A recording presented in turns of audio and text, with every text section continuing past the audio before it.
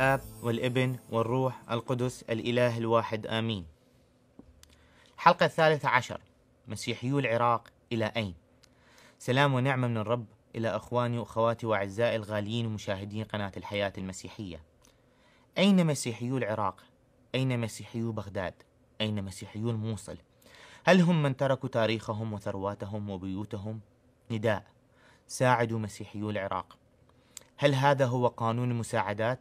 هل هذا هو قانون الإنسانية؟ المسيحيون راحلون مهاجرين لاجئين مطرودين منبوذين مقتولين باسم الدين والسياسة جوع وعطش وألم ودمار هل هذه مجازات الأمين والصادق؟ هل هاي مجازات الذين أعطوا بسخاء وضحوا بكل ما هو غالي؟ هل هاي مجازات أهل السلام والمحبة؟ هل هذا العراق الجديد؟ كيف نساهم في مساعدة مسيحيي العراق؟ إذا المسيحي ما يتهجر وإذا ما ينطرد وإذا ما ينباك ويتهدد وإذا ما ينقتل وإذا ما يموت من الجوع لا يتم مساعدته. فقط في هذه الحالات والظروف. وحتى المساعدات قامت تنباق من قبل رؤساء وسلاطين ورجال الدين. وإذا كان عنده معرفة أو يكون زنقين لو خلص طلع وهاجر وصار لاجئ وحزين. وين الإنسانية؟ وين المنظمات؟ وين الكنائس؟ وين المسيحيين؟ يا مسيحيي العالم وينكم؟ ليش ساكتين؟ صار أكو موت من نوعين موت جسدي وموت روحي. مو بس مو مو مو بسبب السرقة والقتل باسم الدين لا. وموت روحي بعدم اهتمام الآخرين من المسيحيين والكنائس والمنظمات. ولا يتم مساعدة المسيحيين وحمايتهم إلا إذا كانوا مذلولين لو عندهم معارف لو واسطات لو يكون عايش بخيمة لو يتوسل بهذا وذاك. حتى بالموت قمنا نطلب مقابل. كنت أسمع هذا الكلام من من الناس وأهلي وكنت أشوف هذا هاي الأمور مع ناس وهسه طلعت هاي الأمور صحيحة. هناك موت من نوع ثاني موت من الجوع هناك موت روحي أعداد هائلة من المسيحيين يسكنون المدارس والكنائس والساحات والشوارع. من هو المسؤول؟ وما هو الهدف؟ وماذا سيحدث بعد؟ هل انتهى الموضوع؟ ما أعتقد. هاي بداية الأوجاع بداية زوال كل باطل وظهور الشر. بسبب السكوت ولماذا هذا الصمت؟ هل هو خوف؟ هناك جزية وهناك طرد. هناك عبيد يطالب من المسيحي أن أن ينباق ويسكت أن يدفع الجزية. حتى أصدقاء أصدقاء المسيحيين وإخوانهم في البلد قاموا بانقلاب من أجل المصالح. إيش قد أنت رخيص يا إنسان؟ بعت أخوك الإنسان من أجل مصالح وفلوس.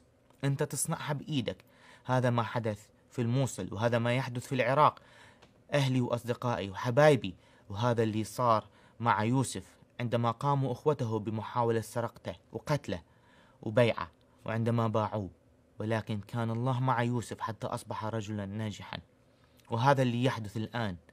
الله مع المسيحيين. سيكونون ناجحين وناجين ونرفع اسم المسيح في كل مكان. منتصرين مرسلين.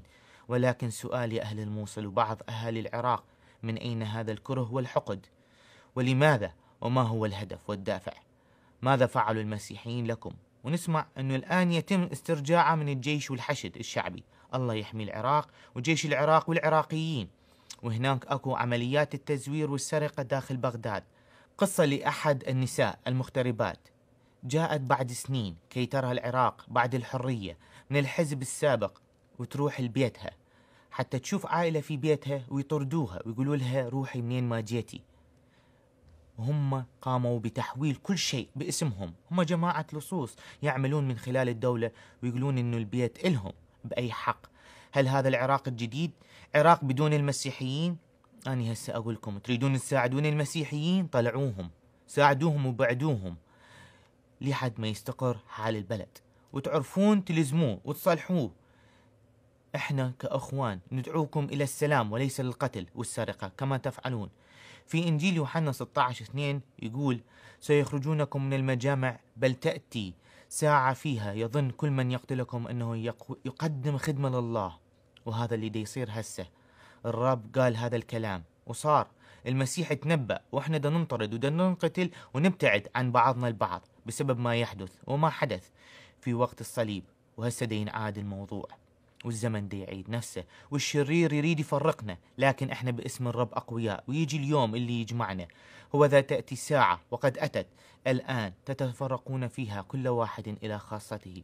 وهناك كلام الرب على فم يوحنا في سفر الرؤيا لأنك حفظت كلمة صبري. أنا أيضا سأحفظك من ساعة التجربة العتيدة. أن تأتي على العالم كله لتجرب الساكنين على الأرض. يا مسيحي العراق حفظوا وصايا الرب اقروا كلمة الرب هي التي تحميكم وتحفظكم وتعطيكم الصبر. لأننا بالمسيح يسوع منتصرين وغالبين وهو سيحمينا ويحفظنا من التجارب والشرير. وهاي بداية الأوجاع مجيء المسيح المسيح ده يسمعنا وجاي على الأبواب. الله لا يحتاج إلى مضللين وقتلة الله لا يحتاج إلى سراق وملتحين وتجار باسم الله. رجعوا اقروا التاريخ إحنا أصحاب البلد المسيحيين هم أهل البلد. الأرض التي تأتي بالدم بالدم ترجع. التي تأتي بالسيف بالسيف تؤخذ. وما يأتي بالسلاح بالسلاح يؤخذ. ما نريد الدم ما نريد أرض لا يوجد المسيحيين فيها لأنها بدون نور وملح. تكون أرض فساد. الرب قال اتركوا الأرض التي فيها خراب. المسيحيين هم أساس أرض الرافدين المسيحيين راحلين إحنا راحلين ما ذكر عندكم في الكتاب مالتكم لا تدخلوا بيوت غير بيوتكم؟ ما نعرف شو تريدون. لكن نعرف أن أنتم عبيد إله مزيف مهرطقين وليس سوى تراب يأكلها الدود اتذكر أنت منو؟ يا إنسان بخاره يضمحل يختفي. وهناك يوم يرجع حق المظلوم. هذا سبي لشعب المسيح يا مسيحي العراق. خلونا نصلي إلى كل أهل العراق. مسيحيين العراق. يجي يوم ويجمعنا الرب ويباركنا ويحمينا من كل اللي دا يصير ونصلي بكلمة المسيح اللي هي شفاء النفس وقوة لكل ضعيف. ويجي الرب ويعمل المعجزات من خلال المسيحيين. وباسم المسيح نطلب وكل شعب المسيح وكل من يؤمن بالمسيح وأهل العراق يقولون آمين. سلام المسيح على العراق وأهل العراق. يقول الشاهد بهذا نعم أنا آتي سريعا. آمين. تعال أيها الرب يسوع. نعمة ربنا يسوع المسيح مع جميعكم. آمين. بسم الآب والابن والروح القدس الإله الواحد. آمين.